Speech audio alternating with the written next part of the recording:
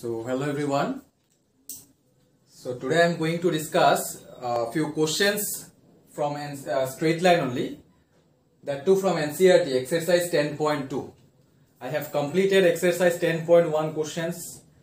After that I have given the various types of equations of straight lines in the last class. Now today I am going to discuss the various types of equations related questions that is from exercise 10.2 right. So the first question is the first question is find the equation of a straight line find the equation of a straight line intersecting the x-axis at a distance 3 units to the left of the origin.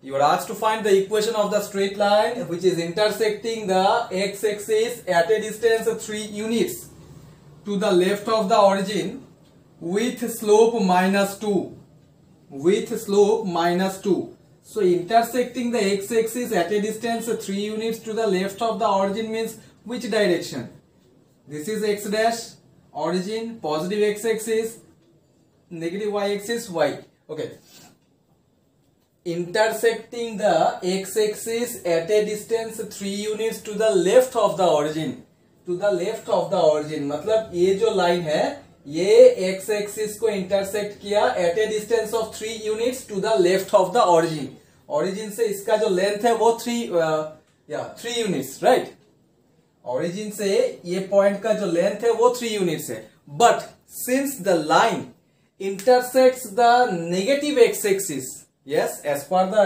uh, question uh, if i draw the diagram we can clearly say that the line intersecting the negative x-axis so since the line intersecting the negative x-axis so therefore the coordinate of this axis this point will be minus 3 comma 0 yes यहाँ पे दिया गया है three units क्योंकि length can not be negative but जब draw करना है इसीलिए इसीलिए डायग्राम ड्रॉ करने से पता चल जाता है कि एक्यूरेट आंसर क्या हो सकता है थोड़ा सा हम लोग कंफर्म हो जाते हैं कि आंसर के बारे में right length can not be negative, लेकिन कोऑर्डिनेट तो नेगेटिव हो सकता है।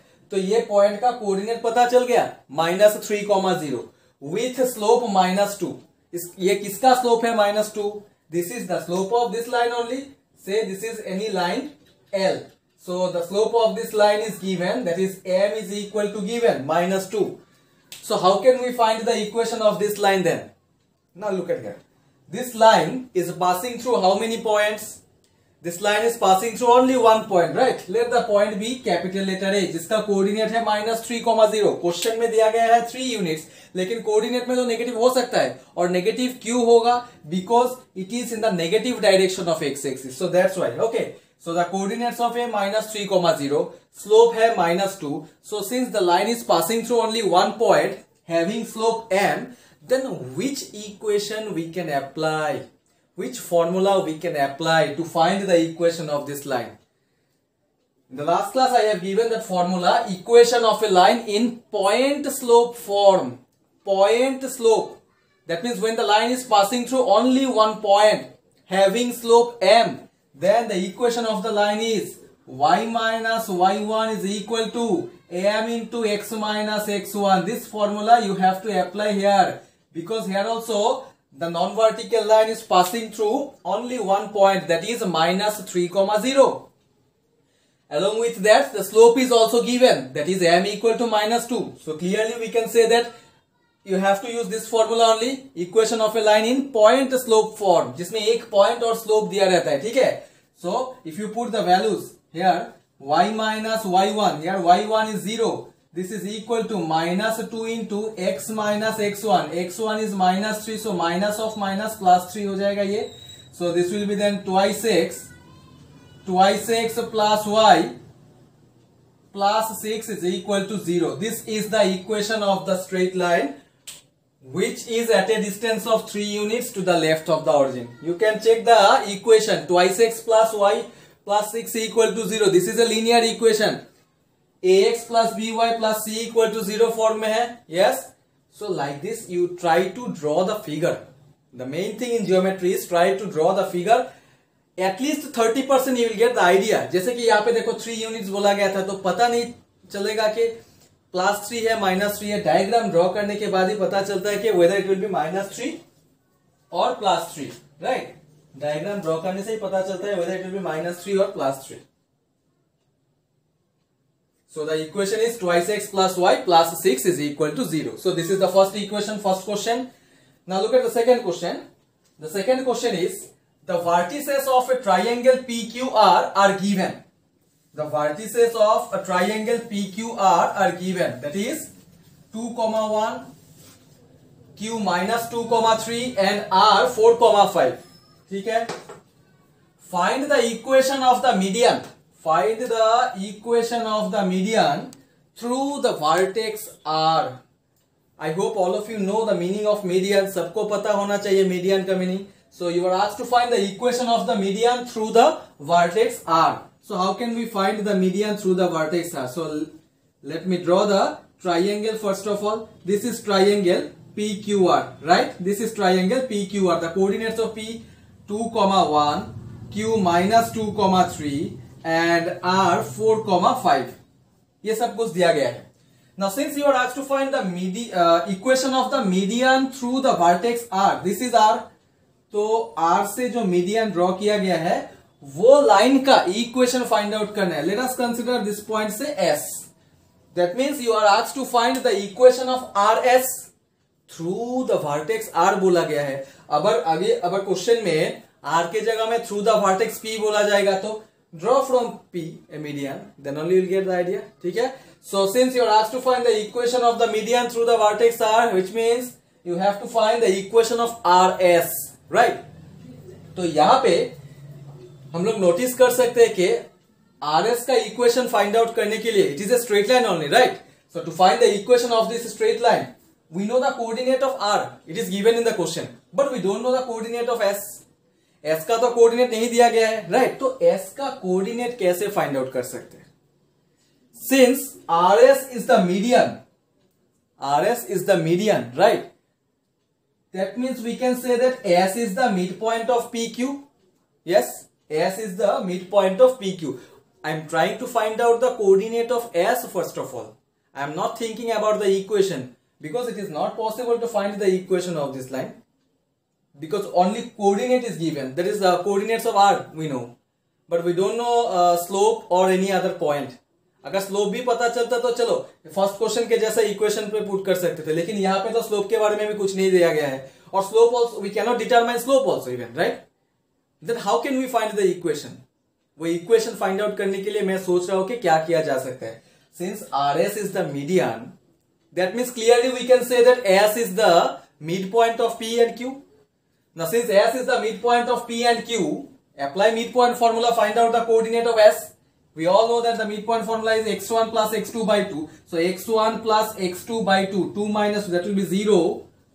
y1 plus y2 by 2 is 2. Now we know the coordinate of S also, right? The coordinate of S 0 comma 2. We know the coordinates of R which is uh, given in the question 4 comma 5. Now how can we find the equation of RS?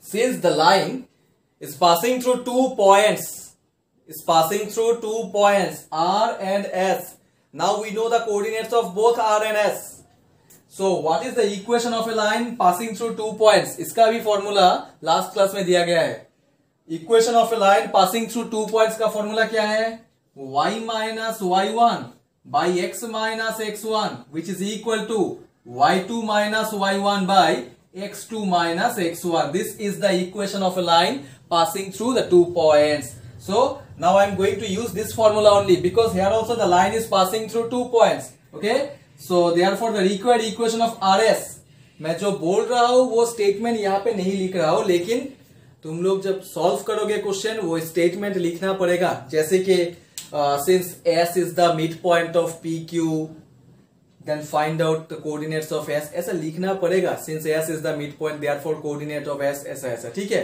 similarly since the line is passing through the two points r and s so we know the equation of a line passing through two point is y minus y1 by x minus x1 which is equal to y2 minus y1 by x2 minus x1 after that put the values y minus y1 y1 you can consider this one that is 5 divided by x minus x1 4 which is equal to y2 minus y1 5 minus 2 that is 3 divided by x2 minus x1 4 minus 0 that is 4 अभी इसको cross multiply करना है that is four y minus twenty which is equal to thrice x minus twelve और it can be return as minus thrice x plus four y minus 20 plus 12 is equal to 0 that is if I take minus common 3x minus 4y it will be plus 8 which is equal to 0 this is the equation of this is the equation of the median through the vertex r it's very simple 3x minus 4y plus 8 is equal to 0 diagram draw करके थोड़ा सा confirmation लेना पड़ेगा कि क्या find out करना है किसका कोऑर्डिनेट फाइंड आउट करना है right so this is the second question I, I will discuss the next question now.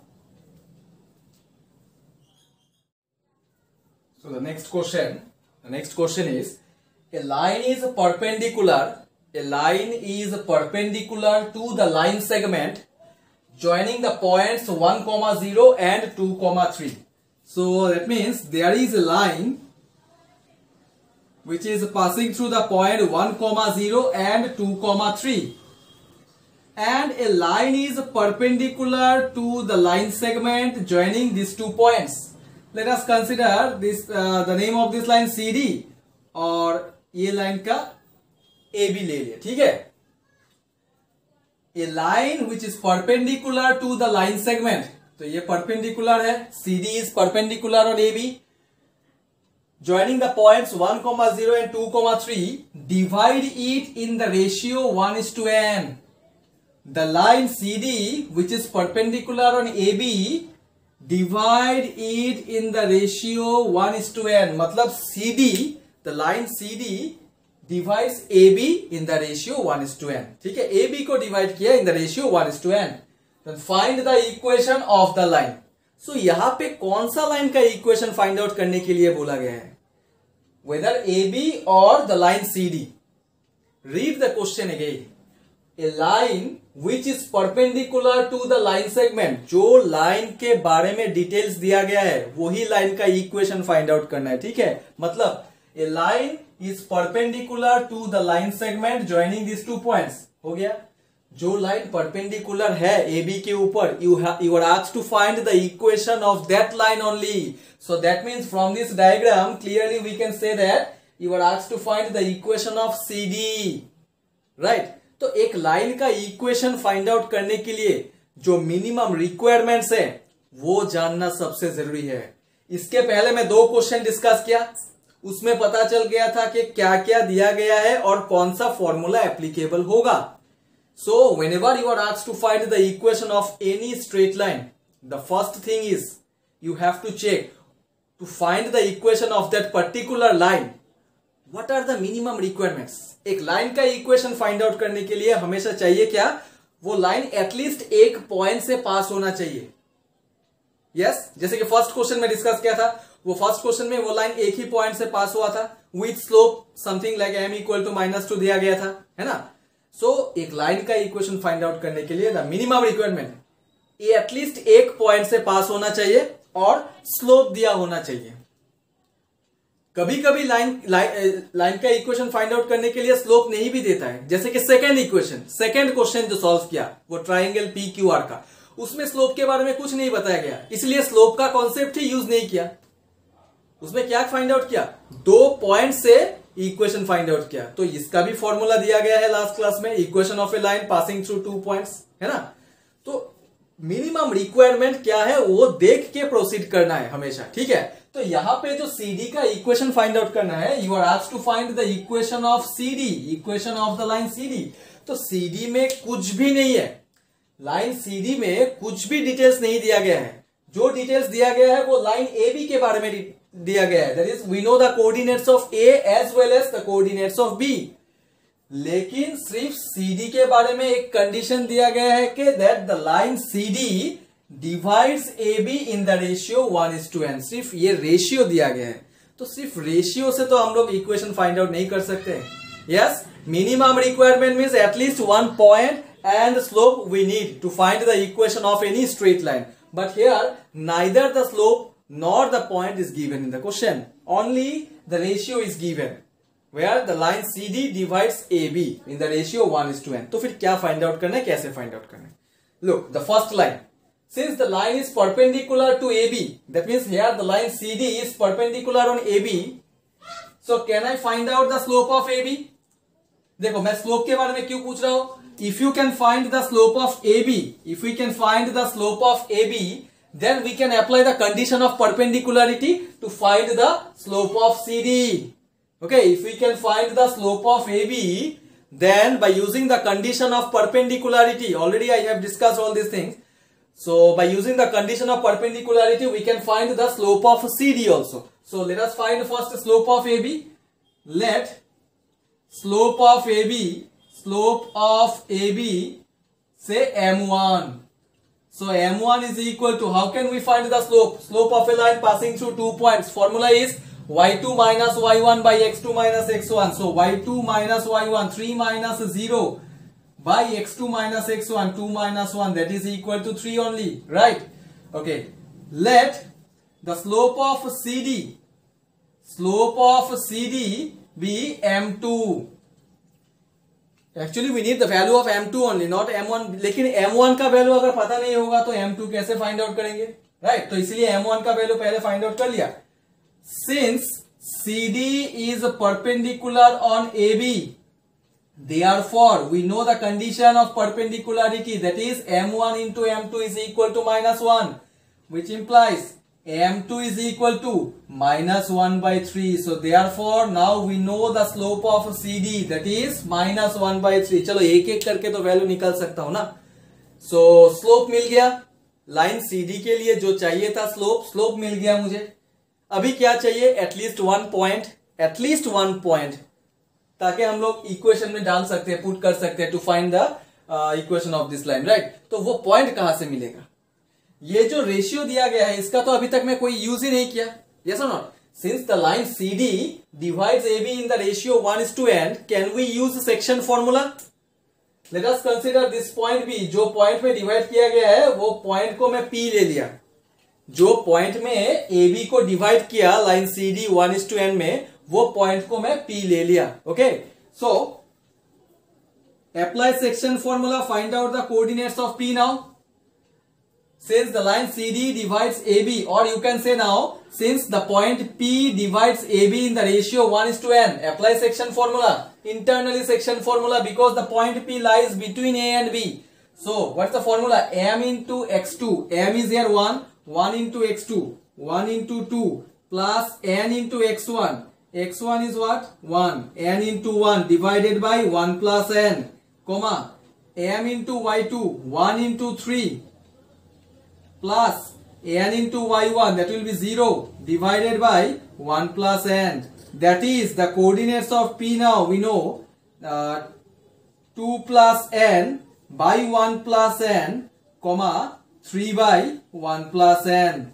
so coordinates of p मिल गया लेकिन ये p का क्या करूँ क्यों निकालना पी का coordinates because the point P lies on the line C D और not this point P lies on the line C D which means the coordinates of P will satisfy the equation of the line C D okay the coordinates of P will satisfy the equation of the line C D it is not possible to find the coordinates of C और D इसीलिए ये point को P लेके P का coordinate find out कर लिया। ताकि ये जो पॉइंट पी है, ये सीडी को भी सेटिस्फाई करेगा because the point P lies on the line CD so which mean the coordinates of P will always satisfy the equation of the line CD right so now we can say that the line CD is passing through only one point having slope minus one by three M two means it is the slope of C D और M two का value मिल गया minus one by three So which formula we can apply to find the equation of this line?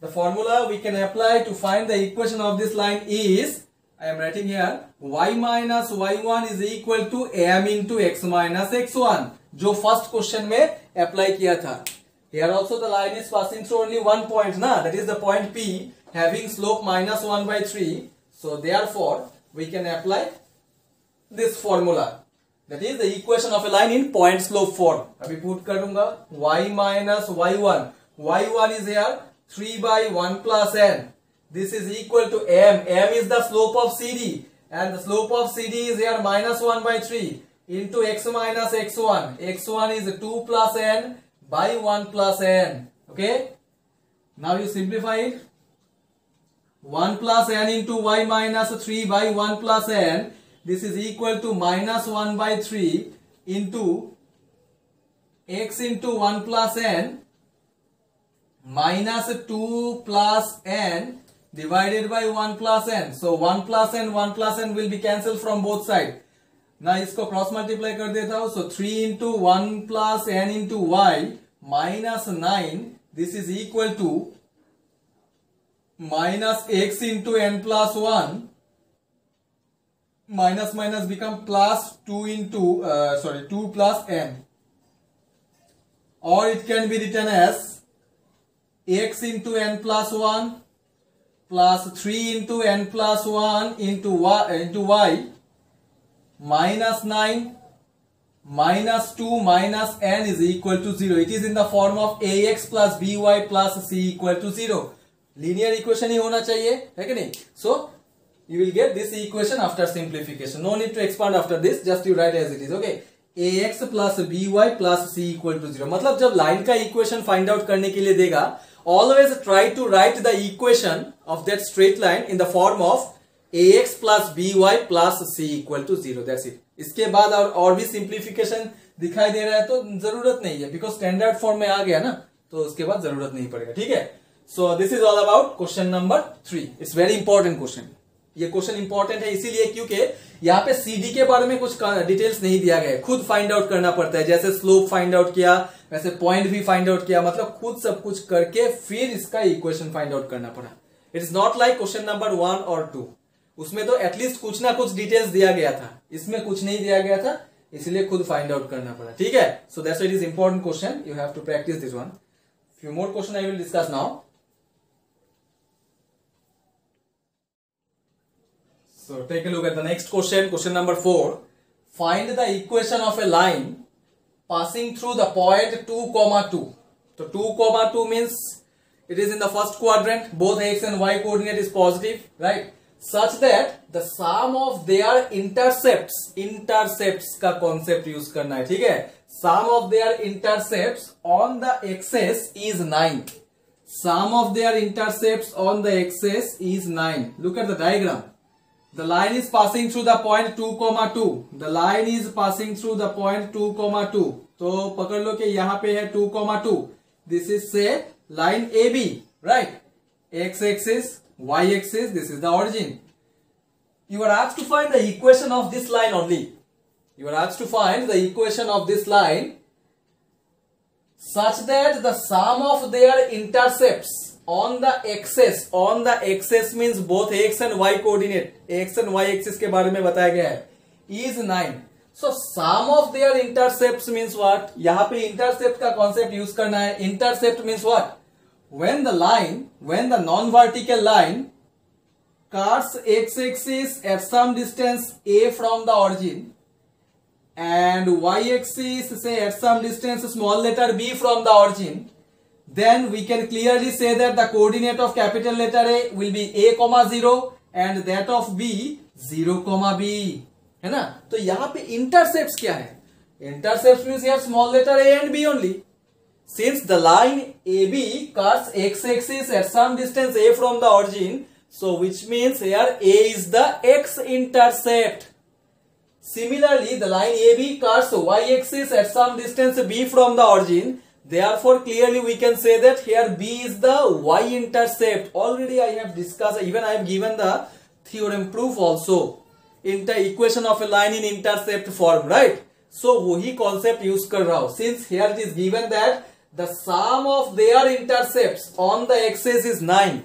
So, as per the question or as per the diagram, we can say that here A plus B is equal to 9. This is given.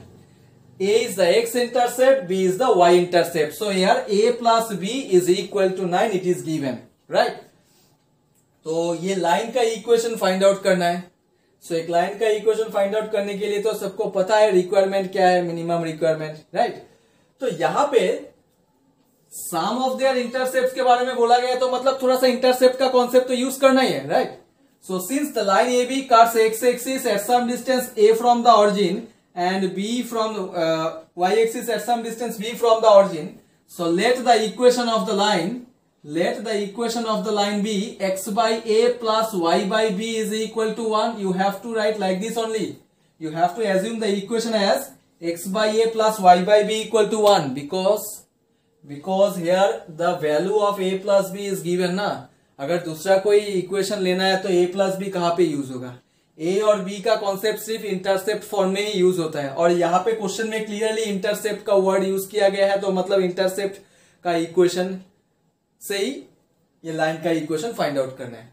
We know that the equation of the line in intercept form is x by a plus y by b is equal to one according to question according to question equation one is passing through equation one is passing through is passing through 2 comma 2 yes or not equation 1 means this line is passing through the point 2 comma 2 so therefore equation 1 can be written as now 2 by a plus 2 by b this is equal to 1 say this is equation number 2 right okay अभी ये a plus b equal to 9 का क्या use है so as per the question since the sum of their intercept is equal to 9 which means a plus b equal to 9 therefore it can be written as a equal to 9 minus b also right so put the value of a here in this equation that is 2 by 9 minus b plus 2 by b which is equal to 1 now after that you have to simplify this one तो simplification मैं यहां पे कर रहा हूं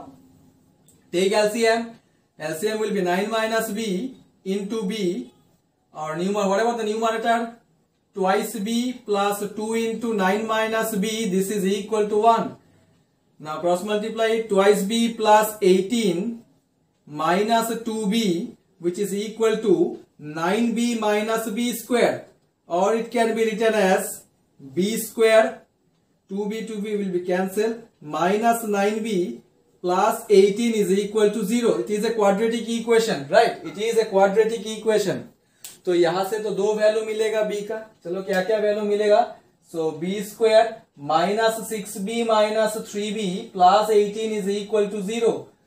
So if I take b common, it will be b minus 6 minus 3 common, b minus 6 is equal to 0. Therefore, clearly we can say that the values of b are 6 and 3. The values of b are 6 and 3, right? जो equation जो line का equation find out करना है that line is in the form of intercept right तो intercept form में है, इसीलिए intercept का इक्वेशन यहाँ पे कंसिडर किया गया है।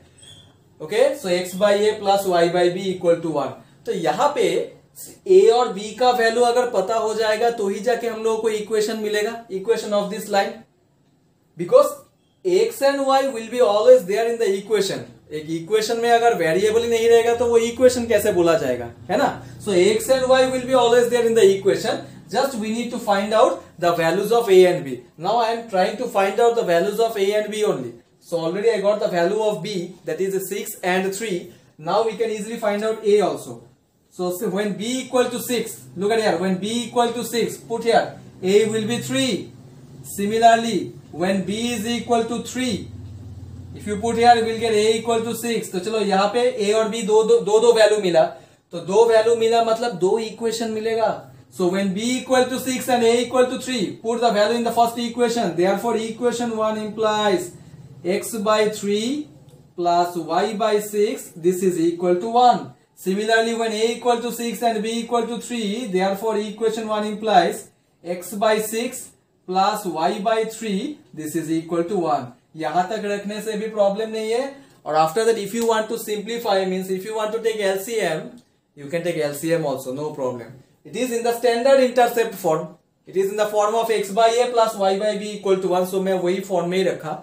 इसके बाद अगर तुम लोग सिंप्लीफाई करके नॉर्मल फॉर्म में normal form means a x plus b y plus c equal to zero form में लेना चाहते हो तो you can write like this also okay there will be no problem but this question is also important this question is also important तो यहाँ पर intercept का concept use किया गया है।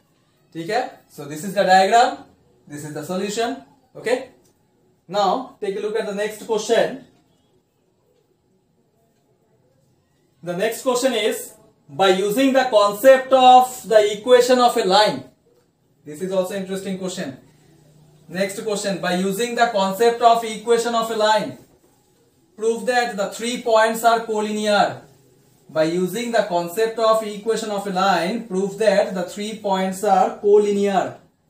Prove that the three points are collinear. देखो collinearity का भी बहुत सारा conditions तुम लोगों को मिल गया.